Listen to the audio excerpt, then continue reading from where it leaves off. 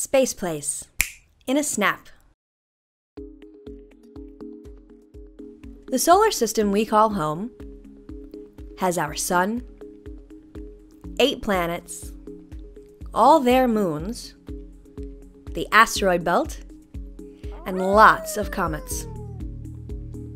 Outside Neptune's orbit is the Kuiper Belt, an almost empty ring around the Sun that has icy bodies, almost all smaller than Pluto, making slow orbits around the Sun. But what's beyond the Kuiper Belt? Beyond the fringes of the Kuiper Belt is the Oort cloud.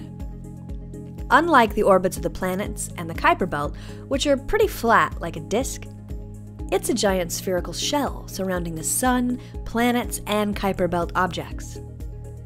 Like a big bubble with thick walls around our solar system. It's made of icy pieces of space debris the sizes of mountains and sometimes larger. This is where some comets come from. The Voyager 1 spacecraft took 35 years to leave the Sun's magnetic influence. It's traveling 1 million miles each day at that speed, it will take 300 years to reach the inner layer of the Oort cloud. And then it will take 30,000 to get through it all.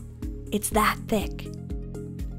Find out more about our solar system and what lies beyond it at NASA Space Place.